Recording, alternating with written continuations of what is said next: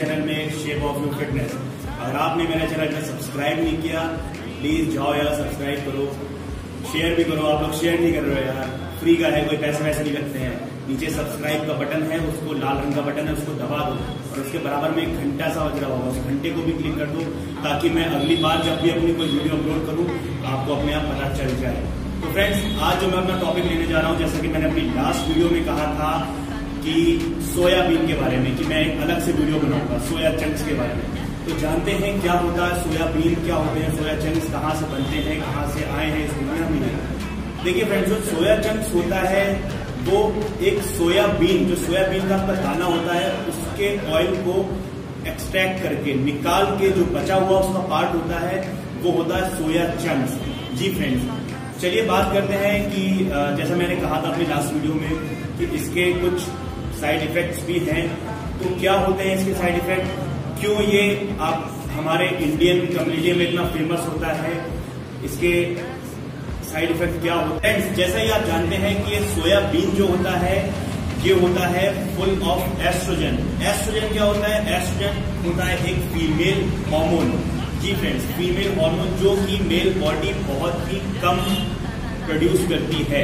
तो ये main females में पाया जाता है।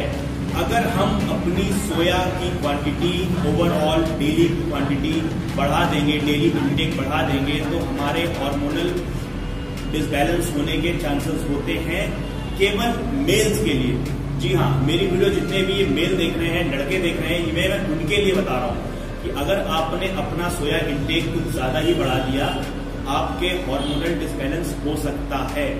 जी फ्रेंड्स तो क्या इसका सही तरीका होता है? हमें किस तरह से इसको यूज़ करना चाहिए। कितनी क्वांटिटी में हम इसको ले सकते हैं कि हमारी बॉडी में तक कोई साइड इफ़ेक्ट ना हो। देखिए फ्रेंड्स अगर आप सुबह से शाम तक अपनी डाइट में केवल सोया सोया सोया, आप सोया मिल्क ले रहे हैं, आप सोया चंक्स ले रहे हैं, आप अपने डिनर में सोया ले रहे हैं, आप टोफू ले रहे हैं, सोयाबीन का पनीर ले रहे हैं तो आपकी जो ओवरऑल इंटेक होगी सोया की, वो ओवरऑल बढ़ जाएगी। तो आपको ऑब्वियस सी बात है प्रॉब्लम होगी क्योंकि आपका एस्ट्रोजन बढ़ जाएगा।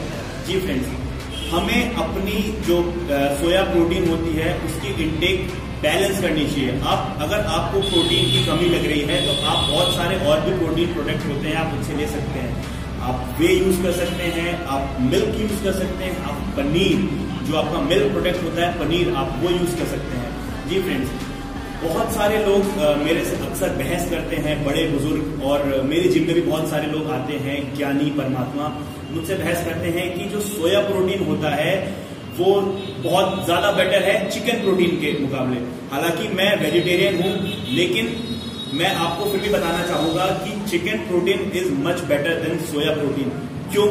आप जैसा कि इस चार्ट में देखते हैं, इस चार्ट में 100 जो ग्राम आपका सोया होता है, उसमें होता है अप्रॉक्स 52 ग्राम्स ऑफ़ प्रोटीन और इसमें कार्बोहाइड्रेट है आपका अप्रॉक्स 30 के आसपास।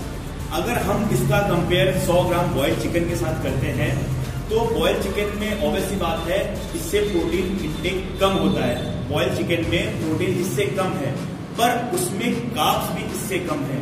तो जिसका मतलब ये होता है कि जो बॉयल चिकन की प्रोटीन क्वालिटी है, वो बहुत ही ज़्यादा बेटर है। जो वो आपको प्रोटीन प्रोवाइड करेगा, वो आपकी बॉडी में आपको लीन गेनिंग करेगी।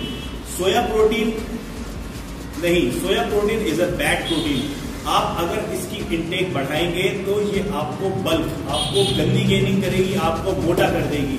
जी फ्रेंड्स तो chicken protein is much better than soya protein मेरी कोई सोया प्रोटीन से खास दुश्मनी नहीं है जो मैं इसकी इतनी बुराई कर रहा हूँ। बस जो नॉलेज मुझे अभी तक अपने एक्सपीरियंस से मिली है, वो मैं आपको बता रहा हूँ कि अगर आपको सोया प्रोटीन लेना है तो आप एक दिन में अप्रॉक्स 25 से 30 ग्राम तक ले सकते हैं।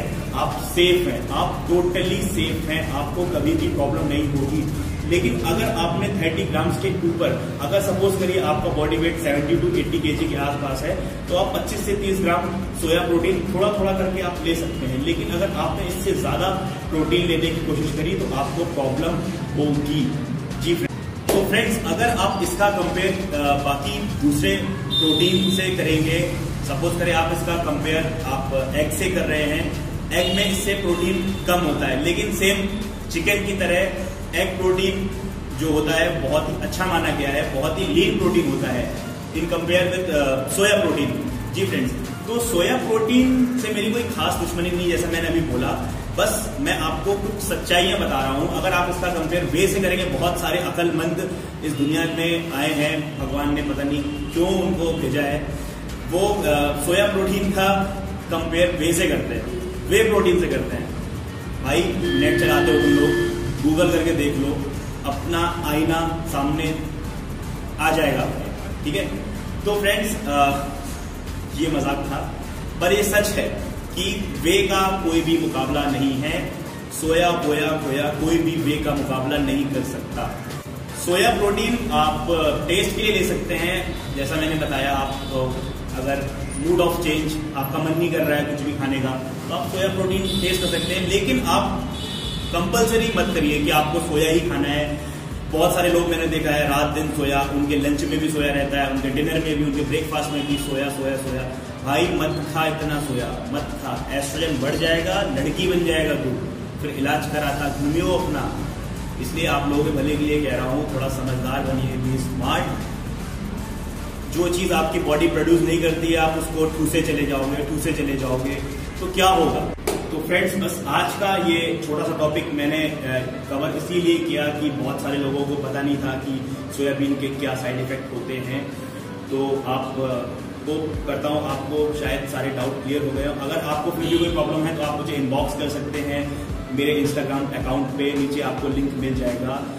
और फ्रेंड्स मैं चाहता हूँ कि आप लोग मुझे वीडियो में कमेंट करके या मुझे इनबॉक्स करके बताएँ कि मैं जो नेक्स्ट वीडियो बनाऊँ, उसका टॉपिक क्या रखूँ।